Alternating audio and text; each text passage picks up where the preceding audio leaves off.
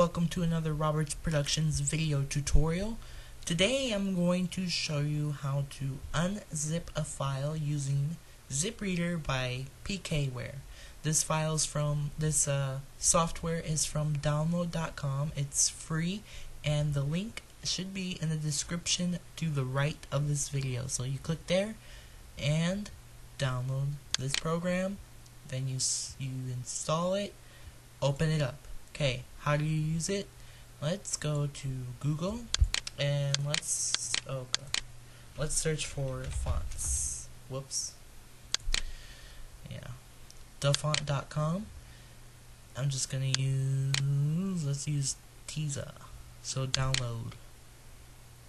Okay, and you can see it's tiza.zip. It's gonna open with ZipReader by PKWare.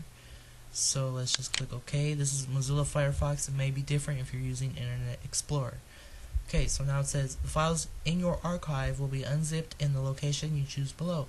Unzip to documents, my documents at, as Tiza. So I click next. Archive successfully unzipped one file.